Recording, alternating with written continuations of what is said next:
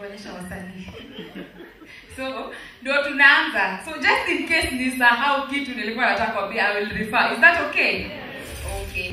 Ni mimi nani? Kuna mtu single hapo kwa nyumba? Ka- msichana kama uko single aki ndakupea gift. You're single. I'll give you a gift. Sawa? Charlie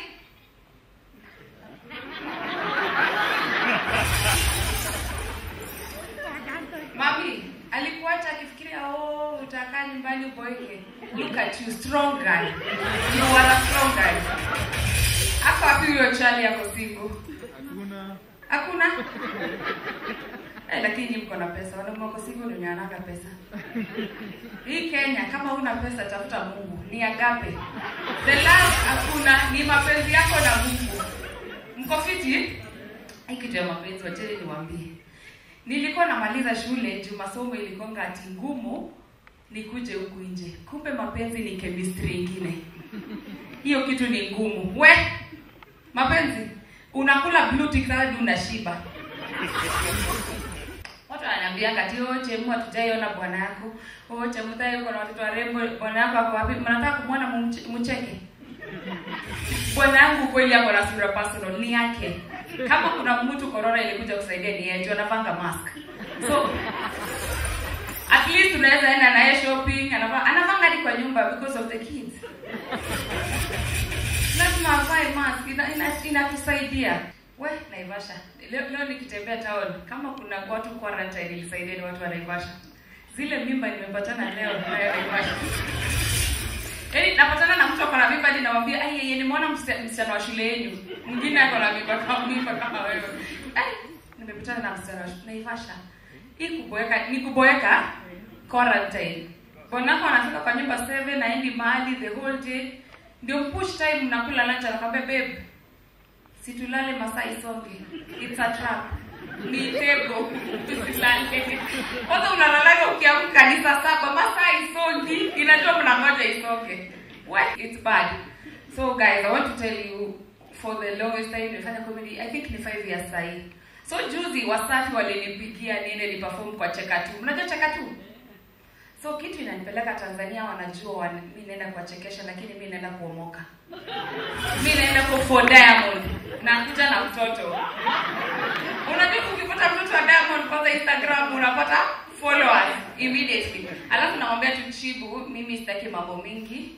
Tutakula ngoma moja. Sisi utuachie wa. Tutachukonga pesa ya wa ama ngoma ingine. Hatutaki pesa mingi. But unajua advantage ya kupata mtoto mkalenjin alafu upate na Diamond alafu akuwe mkimbiaji aendange Amerika alete Diamond. Eish.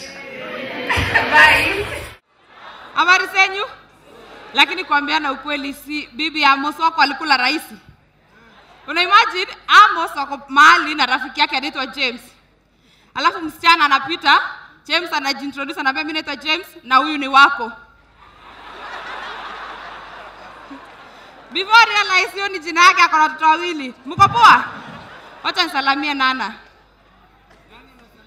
This is the first woman kusema miaka yake kwa mbele ya watu. We celebrate. Wengine hatujai toka 21. Hata next year keki itaandikwa hivyo. Unajua leo niko KICC na ni something close to my heart. My first boyfriend aliniingiza box na picha alipigwa akiwa ameshikilia KICC. So alikuja Nairobi akapigwa picha akiwa ameshikilia KICC akakuja nyumbani. Na unajua ukiwa nyumbani ukiona KICC umeona Nairobi hata kama hujai kanyanga.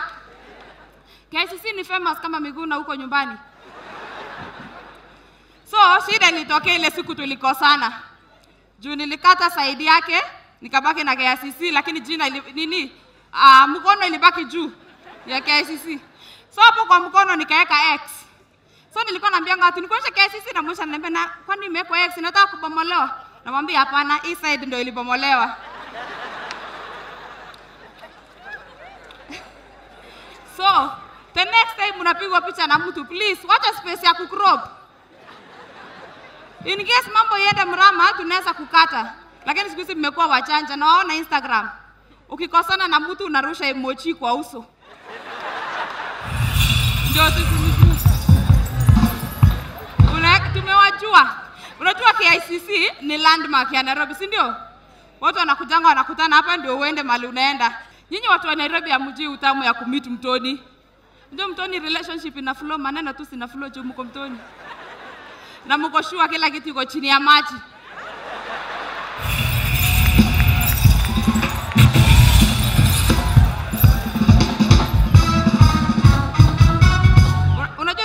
Tulikuwa tunaendanga tunachota maji. Siku ya kwanza unamuona, unarudisha maji nyumbani. Siku ya pili unaenda kuchota, anakuwekea kichwa, unaenda nyumbani. Siku ya tatu unaenda unachota, anakubebea hadi karibu kwenyu. Siku ya nne anakuchota.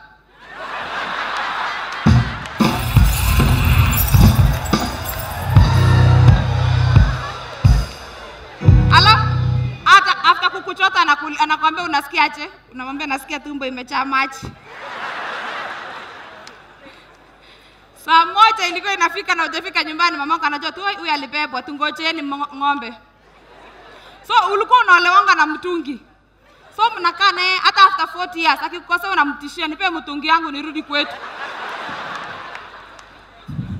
Hadi unaboeka kungoja, unaamua kupata mtoto ndio mgoje pamoja. So mnangoja hapo. Unajua juzi kulikuwa na mafuriko Nairobi. So mtoto ya ndugu yangu anaitwa Korir akaamua kufanya biashara ya kubeba watu. So akachukua gambuti akaenda akabeba watu. So mimi nilikuwa naenda kwa duka, akaniambia tu unaenda kwa duka, nifikishie customer wa duka. So nikambeba. So unajua nilikuwa comfortable, cha alikuwa amekalia viti mbili. So nilikuwa nimebeba excess, nikampeleka kwa duka. Hata kabla nile story, kwa nini siku hizi watu wanafanya plastic surgery? Tuache kufanya plastic surgery. Ju, unajua hata ukifanya plastic surgery ya macho uongeze mwili, huwezi kuwa mhot. Juu plastic na moto haiendanishi, si ndio? So hata mimi na- unajua tuna celebrate Easter na Jesus alikufa na akafufu. Hata sisi kuna siku tutakufa na tufufuke. So nashangaa na watu wa plastic surgery, mtawekwa side moja mkuwe recycled mko recycled. So hata naomba serikali kama inaweza tuwekea mahali post ya immigration. Unaona wala wasichana wanajibilichingi, uso inakuwa nyeupe, mkono inakuwa black, wanaenda hapo wanapewa dual citizenship. Juu hatujui kama ni wa Kenya ama ni wa Amerika. So wale wenye wanajibilichingi mwili mzima wanakuwa weupe, tunawapea visa ya Amerika, tunawanyang'anya ya Kenya.